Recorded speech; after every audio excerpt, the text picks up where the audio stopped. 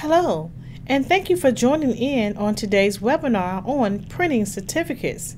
In order to print certificates in the Licensure Gateway, you must first be registered. If you have not registered in the Licensure Gateway, please see the department's webinar on logging into the Gateway for the first time. Now, let's get started.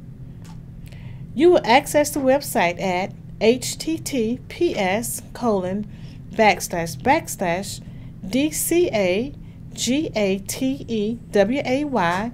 dot sc dot gov.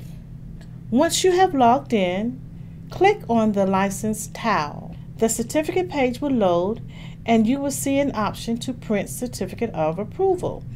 Click the blue button to access your certificate. Then print and post the certificate accordingly. On this page, you can also see your current status and the number of days until the license is scheduled to expire. Open documents in your file, including confirmation of your application, and see your other applications. Thank you for participating in today's webinar on printing certificates. If you have any questions, please contact Deborah Lockhart at 803 734 4209 or dfriday at scconsumer.gov.